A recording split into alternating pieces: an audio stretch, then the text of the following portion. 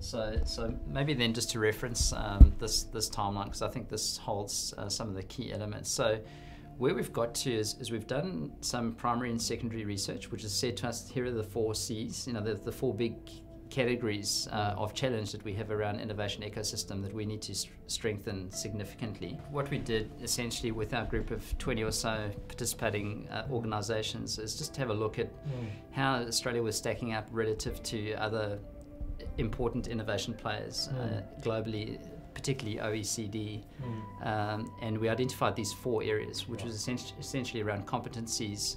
Um, commercialization was another where we're not producing enough of those gazelles that mm. uh, I've heard you, you talk about and, and why that mm. Uh, we also identified collaboration, in particular, particularly collaboration with, say, CSIRO or research organizations and, and, the abilities of corporates to do that in a, in a meaningful way. And then the final area, which was really interesting, uh, has been around culture. Uh, within those, we've identified these, these, these 10 initiatives. And mm. so where we are at this point is that we will take those initiatives through a prototyping exercise, and that just means really taking it out to a much broader audience. So we've had 20 organizations involved in the discussion and, and formulating these ideas.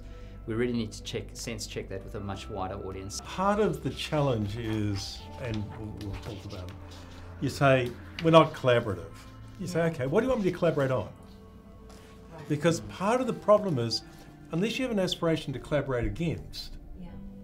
it's sort of well, I'll be friendly, you know, and right. yeah, it's nice to see Tim, and, you know. Yeah. But but when Tim and I have got a shared shared vision and purpose, you know, mm-hmm. we want to, you know, I'm helping Tim make MYOB the accounting uh, cloud platform for the world. Mm-hmm. Then I'm I'm going to collaborate with him. If yeah. there's any place where that might be the, the new way of working. Um, and not that other ways of working within the BCA aren't really powerful and important too, but, but more and more of these big challenges have to be actually solved collectively.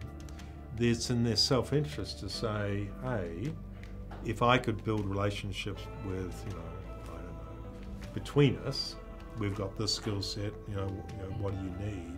There's that, there's benefit. So there's got to be a bit of self-serving here too, because that's where they'll go to. Yeah. yeah. I wonder if you went out to BCA members and mm. said, "What skills will you need in five years?"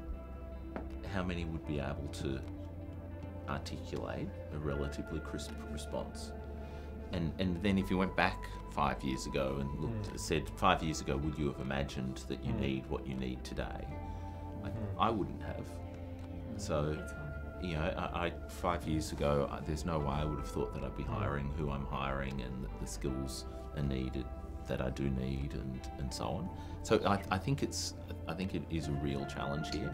What is that set of conditions that creates this unusual phenomenon uh, where we actually do have a gazelle coming out of Australia and you know becoming a, a, a world leader, scaling uh, internationally? I wonder if there's any way for us to get a group of gazelles together to look through these and mm. say, 10 years ago, had this been in mm. place? This would have made a difference. Yeah, or mm. what, what would have, what this idea would need to have to have made a difference would be. Mm. If the Innovation Task Force and maybe all the companies were able to, in a way, vote or, or we could quantify what it would take to get them off the ground, and then people were willing to get behind it. In my view, is is this transition of the workforce from a certain type of work. I mean, so if you go back and you think about industrial revolution, you know, agrarian to more industrialized, it was a big shift, and sort of it's sort of similar, isn't it? It's uh, you know uh, we're doing less manufacturing, we're going to be doing more information intensive jobs and these certain so they're macro sort of trends even articulating that yeah. and saying, look, we don't know, um, you know, uh, well, the exercise consoles didn't exist, you know, 30 years ago. In fact, you know, our parents would say, what do you mean you need an exercise console? You're paying Get out there. to yell at you every That's morning. right, that's right. Get out there and do some work.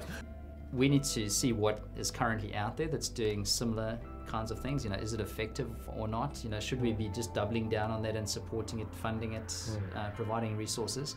or is there in fact a, a much bigger, broader initiative that, that is required that could or should be supported by corporate Australia?